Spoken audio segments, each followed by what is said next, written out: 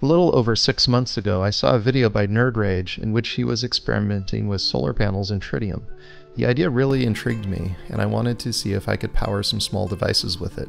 Right from the very beginning, my main goal was to try to create a 3D printed, nuclear powered motor.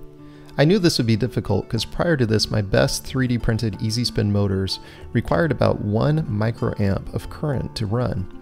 In the end, I was never able to get anywhere near that out of this radioisotope photovoltaic generator. It produced current in the nanoamp range.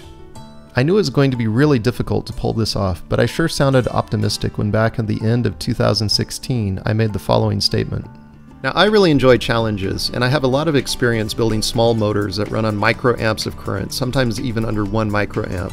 So I'm going to use every trick I know as well as invent some new ones and try to make a small motor that can be powered with this beta voltaic battery. Over the months that followed, I tried all kinds of ideas. My first idea was a rotor that had the tritium, the solar panels, and the coils all inside the rotor itself, and I was trying to use mercury switches to set up the switching action instead of a reed switch or a transistor. This was a really interesting idea and it turned out looking amazing, but it failed as a motor for this application. Later on, I went back to just a very simple motor design. Three magnets, three coils, very lightweight, simple, easy to try different coils on. I tried a lot of different coils, a lot of different wire gauges.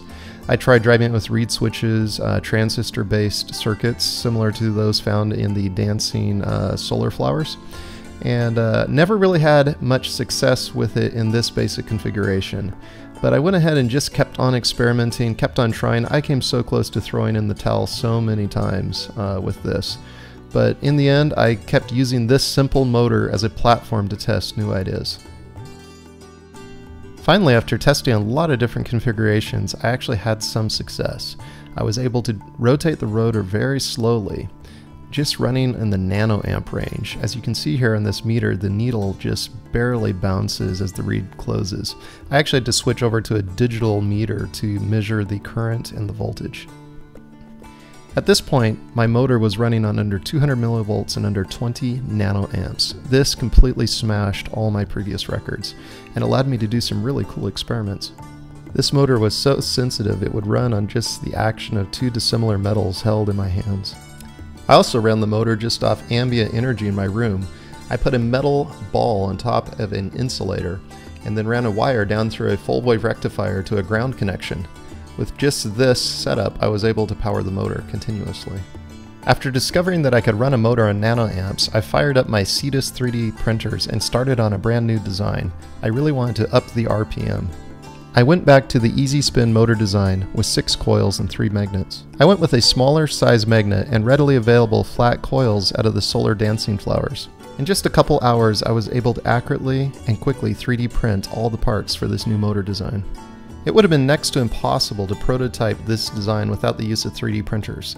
And today, for $299, it's amazing the finish and precision you can get on one of these Cetus 3D printers.